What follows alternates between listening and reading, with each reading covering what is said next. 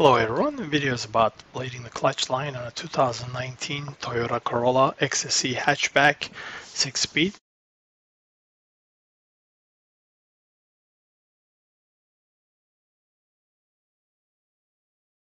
In my experience, uh, if you got big hands, uh, so unless you got very small hands, you're pretty much uh, better off removing the airbox to do this job much easier and faster.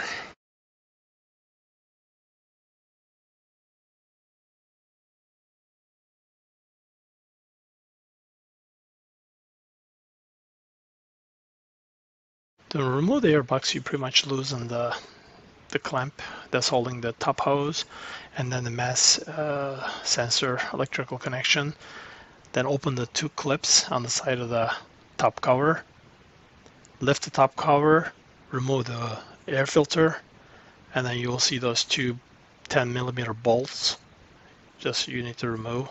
Uh, that's what's holding the airbox to the frame.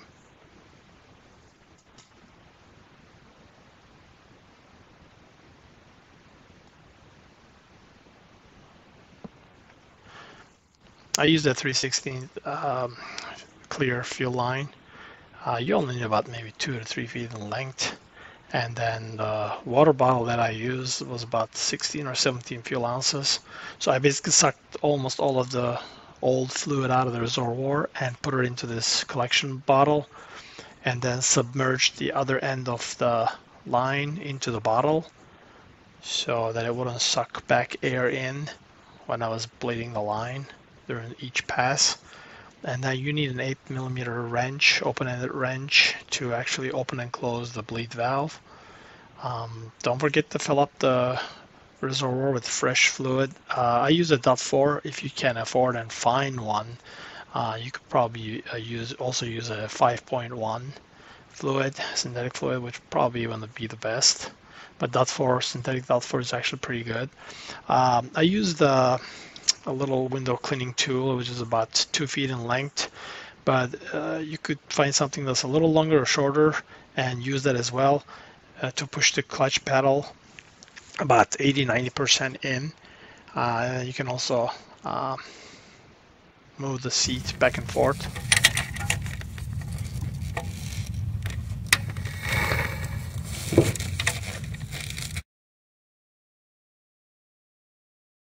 Each time you hear that sound, basically it's a little bit more of the old fluid is being pushed out of the clutch line into the bottle.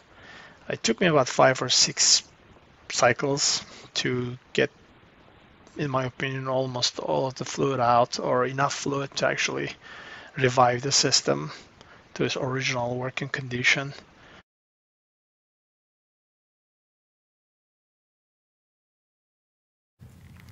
Turn it about hear the noise. So I noticed about maybe a week or two prior to this process I noticed the clutch pedal was getting a lot softer. I was losing the pressure.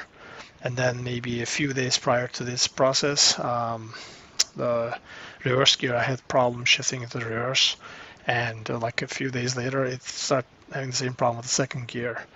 Uh, and I realized the car was only uh, only had 22,000 miles, but it was four years old. The fluid was four years old, so that's something that's definitely a maintenance item, and I neglected it. So make sure uh, you don't. Uh, something that you're supposed to do every two years.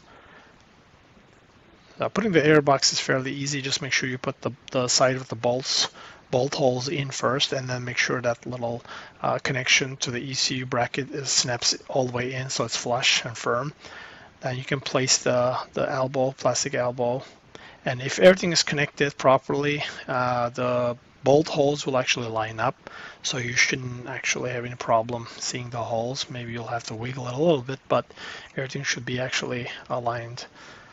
Uh, just uh, make sure when you're doing the, the bleeding, uh, keep an eye on the reservoir fluid levels.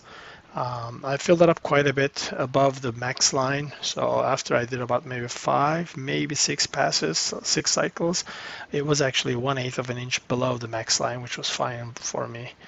Um, and then I just put everything back together. Uh, I could tell the clutch pedal uh, had very good pressure. So it was almost like how it was when it was brand new. Um, don't forget to put all the caps and filters back in place, including the bleed valves cap, and just go for a ride. See how it is. Thanks for watching.